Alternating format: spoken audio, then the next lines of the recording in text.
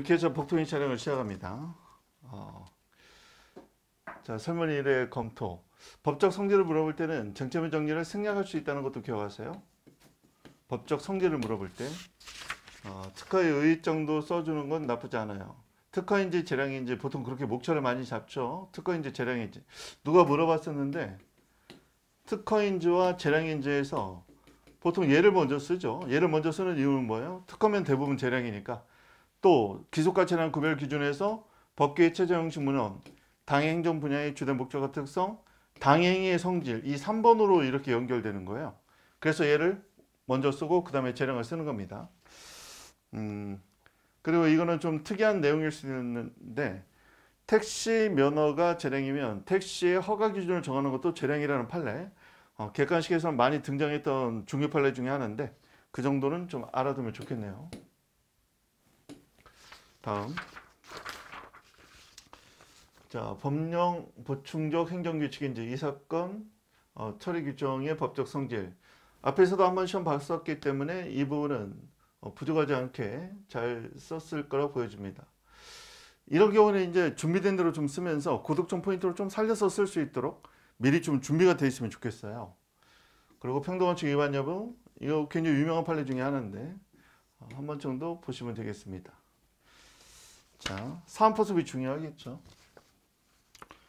위법한 명령의 근간 처분의 효력, 취소 사유다.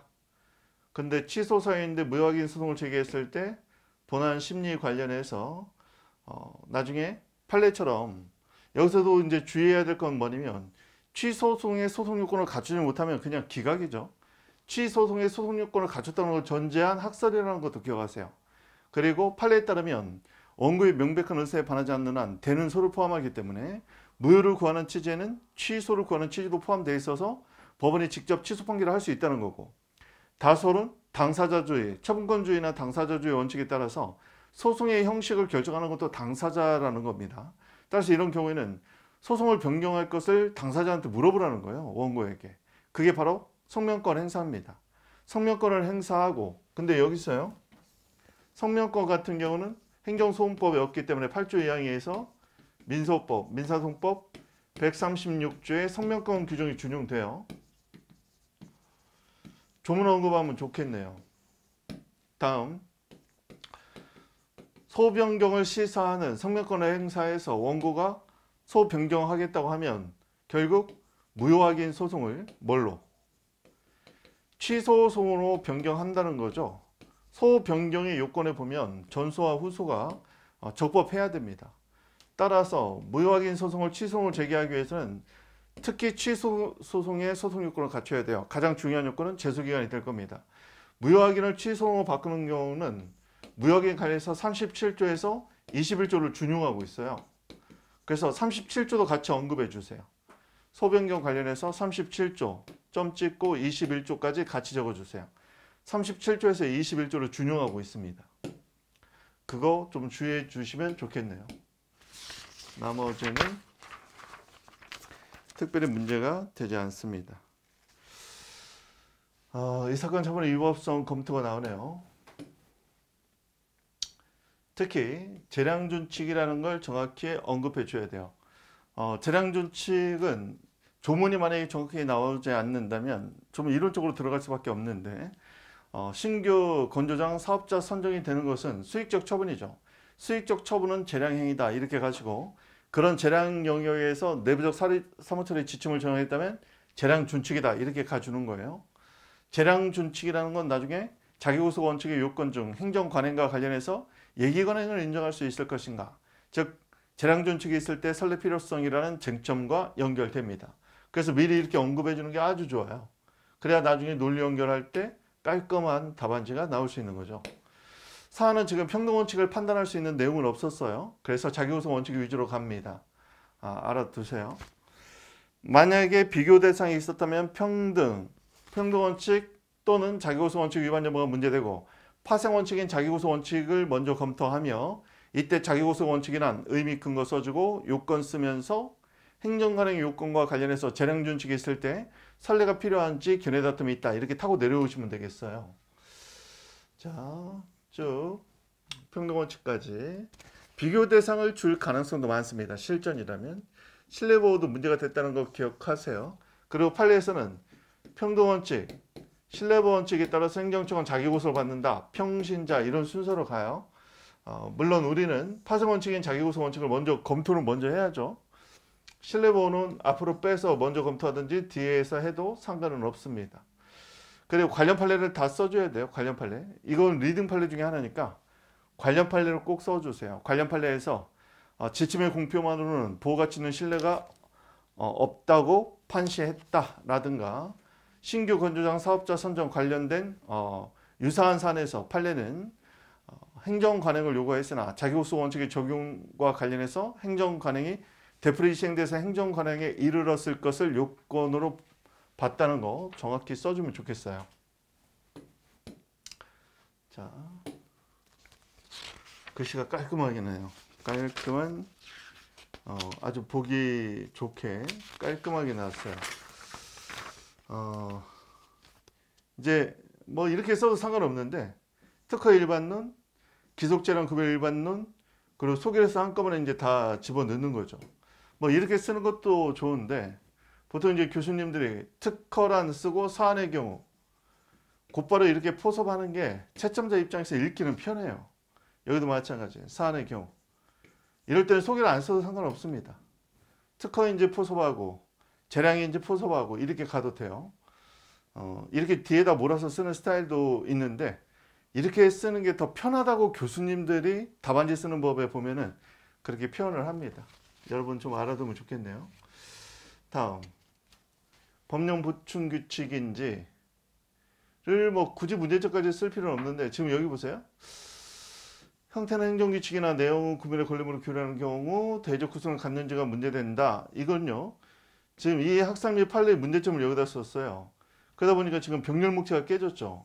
아라비아 숫자에 문제점이 났는데 학상 및 판례는 양가로로 나왔단 말이죠. 어, 좀 뭔가 좀 이상하게 느껴질 수 있어요.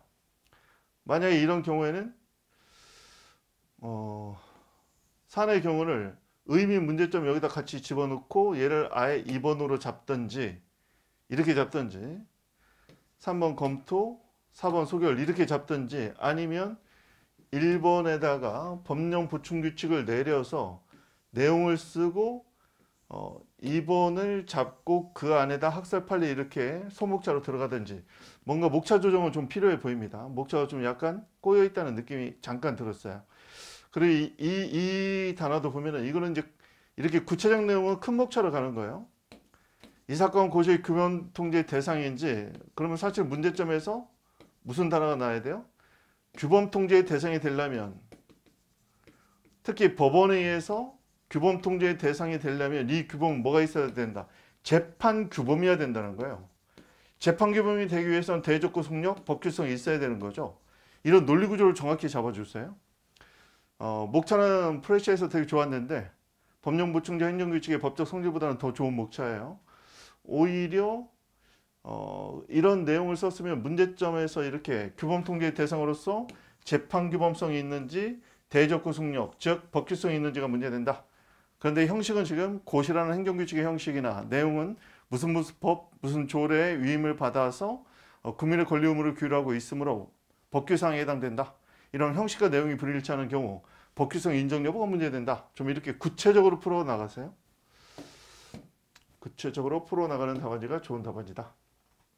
정도같이 어, 의 요건 쓰면 의 쓰면서 그냥 근거 써주면 돼요. 뭐 꼭 다 써야 되는 건 아닙니다. 사안의 경우 좋고요. 위법한 법률 근간 처분의 효력 뭐 좋습니다.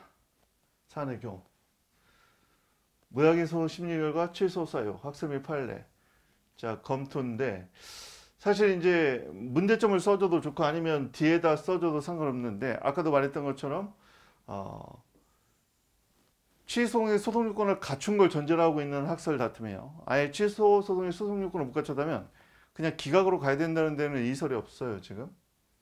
그것이 언급이 좀 되어 있어야 된다. 즉 취소 소송의 소송 요건을 못 갖췄으면 법원은 기각 판결을 할 것이나 취소의 소송 요건을 갖춘 경우에는 어, 이런 되는 소를 포함한다고 볼 것인지 즉 무효를 구하는 취지에는 취소를 권한 취지도 포함된다고 볼 것인지 또는 처분권주의 당사자주의 원칙에 따라서 당사자에게 소변경을 시사하는 성명권을 행사해야 될지 이런 게 문제가 된다고 써주면 되겠습니다. 재량준칙 이제 어 이런 복제도 좋네요. 눈에 딱 들어오는 게 채점하기 편해요. 자기호소 원칙 관련 조문을 좀 더 언급을 해주면 좋겠고요. 재량행위인지 여부는 조문에 없을 때는 수익적 처분인지로 판단하세요. 수익적 처분이라면 재량으로 가도 무난할 겁니다. 자기호소 원칙 의 요건 요건 쓸 때는 번호를 좀 붙여주는 게 좋겠네요. 번호를 좀 붙여줘야 되겠고 행정 가능의 의미 이거 이제 쟁점 이름이 정확히 안 나온 건데 교수님들이 많이 쓰는 쟁점 이름을 써주는 게 좋겠어요. 행, 어, 재량 준칙이 있는 경우 선례 필요성 또는 행정관의 필요성을 써주는 게 좋겠습니다. 음, 특허인지 재량인지 깔끔하게 썼어요. 법적 성질을 물어볼 때는 장제면 정리에 생략하고 사안 해결 생략해도 좋아요.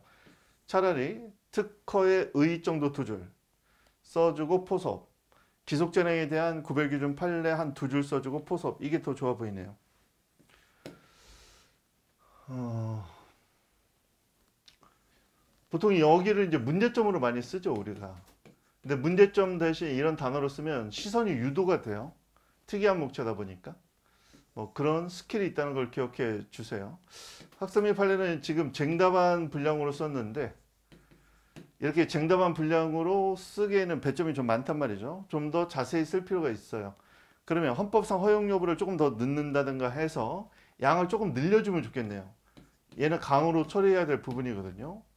주장의 타당성, 행정기본법 언급하면서 구평이죠.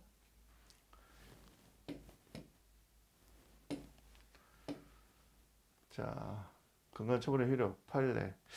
뭐 웬만하면 학설 및 판례로 써주는 게 좋은데 암기가 안 됐을 때는 판례 위주로 써줘도 음, 배점에서 큰 불이익은 안 나올 거예요.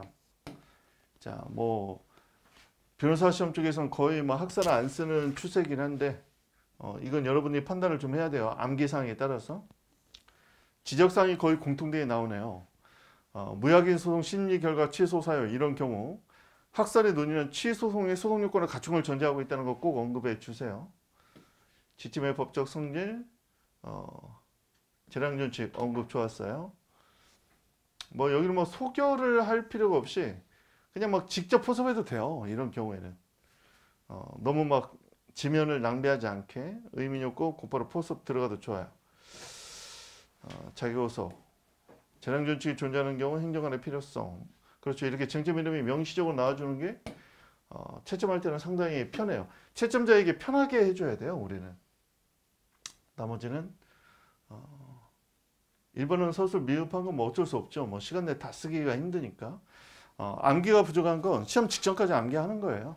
음, 우리가 이제 그리고 채점자들도 마찬가지고 선생님도 마찬가지인데 더 좋은 방향을 제시해 줄 뿐인 거죠. 그렇지만 여러분이 2시간이나 한계 상황에서 과연 어디까지 쓸 수 있는지는 아, 자기 스스로 진단이 필요해요. 그래서 일반론을 쓸 만한 나는 시간이 안 나온다? 그럼 배점에 유리한 어, 검토 및 소결 또는 판례에 나는 집중해서 좀 쓰겠다. 뭐 이건 전략인 거예요. 어, 그런 건 그런 경우는 쓸 수 있는데 안 쓴다면 써줘야 되는 거고.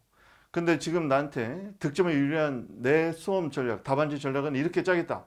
그럼 일반론 지적을 받더라도 일반론 쓰는 대신 나는 어, 포섭에 집중하겠다. 또 판례 문구를 좀 더 정확히 쓰겠다. 이런 데 집중하겠다. 어, 그건 어쩔 수 없는 겁니다. 그렇게 본인이 결정하는 겁니다. 자, 오늘은 여기까지 하겠습니다. 수고하셨습니다.